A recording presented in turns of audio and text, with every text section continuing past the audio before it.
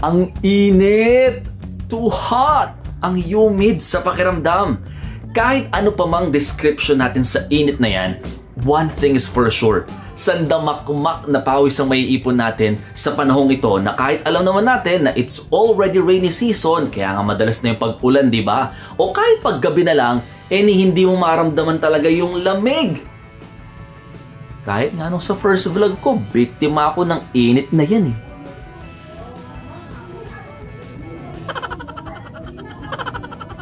Kaya yan ang tatalakayin natin sa third vlog na ito. Pero before I continue, Bekenemen! Baka naman nood ka ng nood tapos hindi ka pa pala nagsusubscribe. Kindly click the subscribe button at thumbs up once magustuhan mo naman itong video. At syempre, dapat tapusin mo hanggang dulo yung video ha. Bawal mag fast forward. Mabilis lang to. Pexman.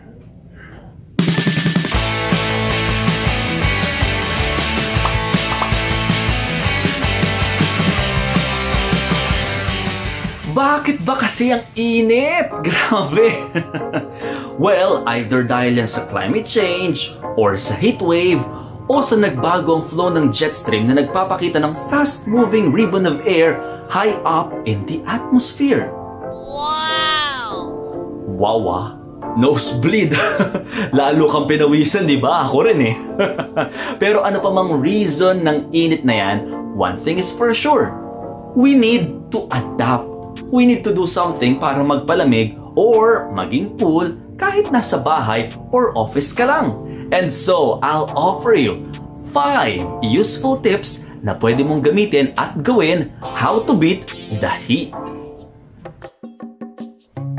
Tip number 1. Gumawa ng improvised ice bag. Tinatawag ko itong cold rice bag. Gamit lamang ang bigas at medyas. Make sure lang na malinis at dapat ha, walang butas. sa bigas, hindi nyo kailangan umubos ng halos isang kilo rito. Yung tingin yung enough na dami na pupuno or siguro makakapuno ng kalahati or one-fourth portion naman ng medyas. Habang sa medyas, piliin nyo yung medyo manipis na medyas at yung madulas-dulas yung texture kasi dadampin nyo yan sa mukha ninyo eh. So pangit naman kapag maaligas-gas yung medyas, di ba? so, gawin na natin.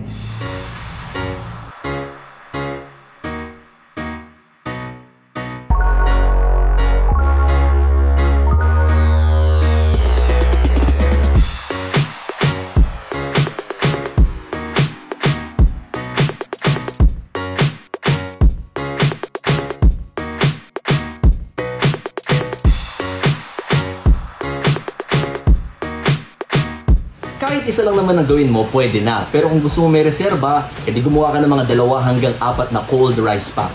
Total, hindi rin naman ganong spacious itong cold rice pack natin na ilalagay mo sa mga refrigerator. A few moments later. After one hour, for sure, malamig na itong cold rice pack natin. So, pwede mo na siya idampi-dampi sa mukha, sa leeg, or sa kahit anong heat-producing parts ng katawan. Mas okay to kaysa sa medya sa nilagyan lang ng direktang ice cubes dahil matutunaw yun for sure and messy. Ito, hindi. Okay pa lang rice, no?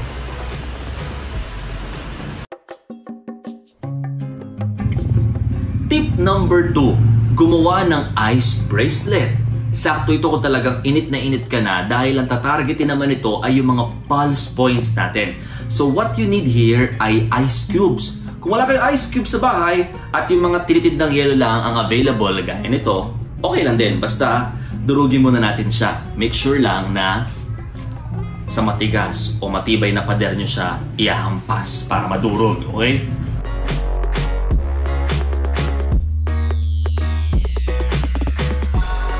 Ayan, mas maliliit na yung yelo na quite similar na rin sa mga ice cubes, di ba?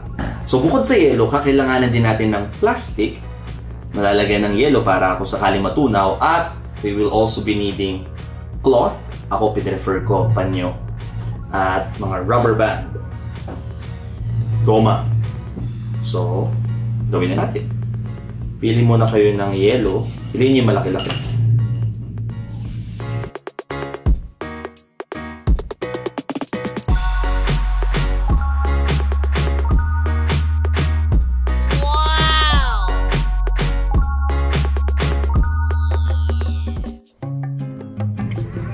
Number 3, maglagay ng pampacool sa fan.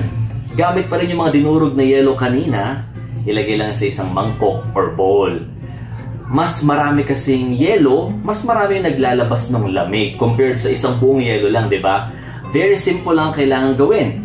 You just need to put it in front of an electric fan pwedeng elevated ng konti para mas mataas-taas para yung natutulak na hangin ng electric fan eh nahahaluan siya nung malalamig na molecules. So, try natin.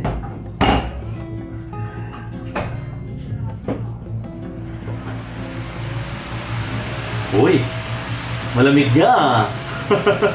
o di, ayos to, sakto pwede mo rin gawin yung ginagawa mo nung kabataan mo na humaharap ka sa electric fan tapos pinanginginig mo yung boses mo. Hello! Pampalamig! Malamig nga.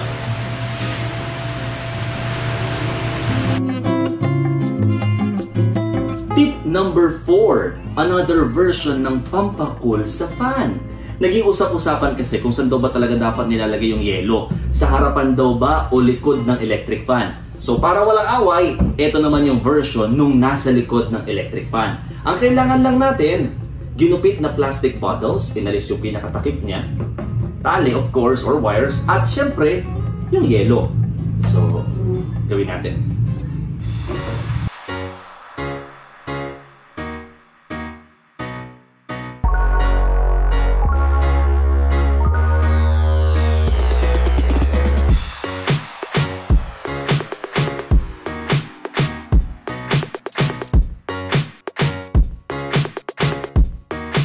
Mas maging effective pa yung lamig, pwede yung butas-butasan din yung pinaka-plastic bottles or babaan nyo pa yung tali. Sigurado mas malamig yun. Wow! Tip number 5. Mag-ala camping with your kumot or kubrikama. Ito yung tinatawag nating cooling tent kapag nasa kwarto ka. Well, kung meron kayong duvet blanket, okay yun kasi parang may sakto na siyang opening. Pero kung wala, we just need some blanket at pillows. Pero itong pillows, kakailangan niyo lang kung wala kayong matatalian sa mismong kama. Kung may matatalian naman kayo, better. Gawin natin.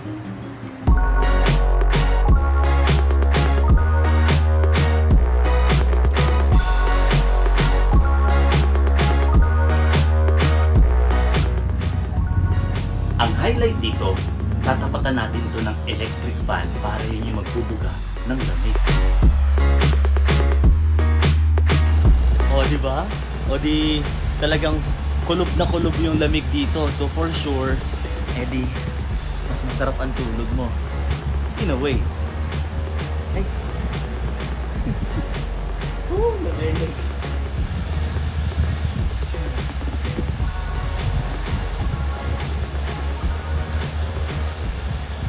There you have it! Ilan lang yan sa mga pwede mong gawin para maging cool as we beat the heat. Wala namang masamang itry yung mga bagay na yan. Kung sakali mang hindi maging effective sa'yo, okay lang. E di, let's go back to basic. Drink plenty of water. Huwag magsuot ng backpack kapag lalabas at maglalakad sa ilalim ng sikat ng araw. Avoid wearing darker color clothes. Dapat daw yung mga lighter ones lang gaya nito maglagay ng halaman sa paligid ng bahay or ng office, at maligo many times. Maligo many times. Hoy, tamahan ka naman, maligo ka naman. Joke lang. Ayun, sana may napulot kayong bago or na-remind kayo ng video na ito sa mga pwede mong gawin para hindi ka mabad trip sa init. If you have suggested topics para sa susunod kong vlog, huwag din mahiyang mag-comment. Always remember, stay cool. At dapat good vibes lang tayo palagi. Thanks for watching!